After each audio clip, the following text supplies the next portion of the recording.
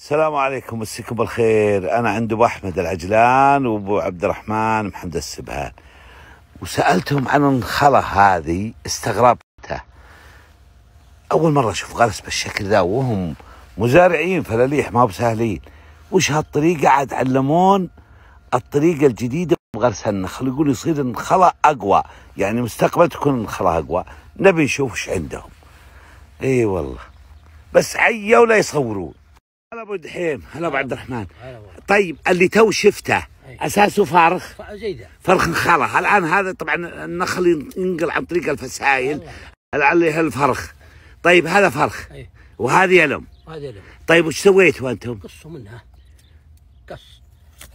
كل هالمنطقة ينقصه أيوه. مضبوط؟ ولا قصيتها طول عمره طيب هنا ما يبين هنا ما يبين الجمارة. ها؟ هنا ما الجمارة. يبين أول الجمارة من فوق أول جمارة من فوق. فوق اي كود حضر هالحمى على ملي أيوه حلو. تقصون تقصون عصبان فوق. قصوا كله هذا نقصه بالمخ يعني ما تأخذ إلا كم؟ سنتي. منه إلا ها يمكن تقريبا حول حول 30 سم تحت يمكن. إيه. وتدفنه كله كامل بالرمل. إيه يعني آه، تأخذ اللي تحت. تحت اي إيه، تحت إيه. كله. وهذا- إيه. برا. تدفنه لا تميت طول عمرك أسبوع 10 أيام لقيته رافعنا الأرض. رافع الأرض ثاني وش أبو دحيم الحين إحنا قصينا من هنا. اي وجدعناه وهذا رميناه. اي وبقي لنا ال- ال- ال- الجذر تحت. الجذور. والجماره الأصلية ال- ال- قاعدة الجماره الله وتدفنه كامل بطين. كامل بطين. وتزبر عليه طين لا يجيه ماء. أبد لا يجيه ماء. أيوه.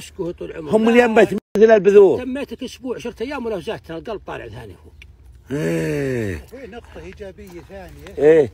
طيب طيب دقيقة بس أبو دحيم قبل لا تنسى كلمك أبو أحمد. الآن يطلع أقوى من ال- أقوى من الفرخ العادي. الفرخ العادي يصير بالإسباني وما إيه له هلا إيه، ما يلو الهواء إيه، وكذا اي هذا خال لا. هذا يغادي تقر راكوب تقل ركوب شلون طلعوا؟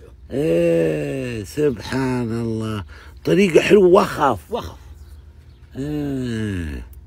نبي أرجع أشرح من جديد توي أفهم. طبعا الشباب والله عيوا عيوا جزاهم الله خير.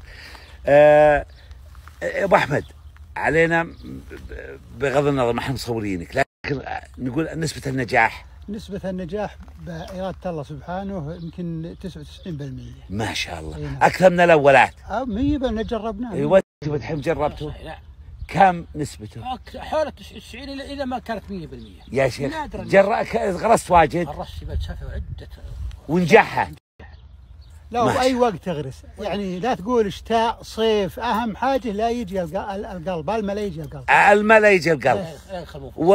و... و... وقت الغرس مفتوح. أي وقت. جميل. من اول يحدون إن تخابر لازم كذا وسقطت العرس. وهم وقت تدفن ال- ال- ال- الفرخ بالأرض. إيه. تسلم من الحشرات تسلم من الفطري وتسلم من كل شيء. زين. الله يبيض وجههم برجع هناك وارجع الشرح من جديد. افهم ها الحين عندنا نموذج. نموذج. زي ما قلنا لكم قص الجزء السفلي من الفرخ ويدفن يدفن كامل. كم دفنتوه واجد؟ يعني حوالي 10 سم تحت. طيب،. للقلب. ويكون الماء بعيد عنه لا يجي القلب. ويحط عليه ال- إيه نعم. آه، التراب هذه تكرمون وتدفن كامل. تدفن. هم تنبت زي البذرة. نعم. والله شوفها قوية جدا طلعت تقول طلع نبتة. أهم حاجة لا منها طلعت. إيه. لأنها تصير أقوى هي قوية مرة. إيه. لازم يحافظ على القلب عن الهواء لا يتحرك لأنه يكسره. يكسر- إيه. يكسر الجمار من داخل تموت.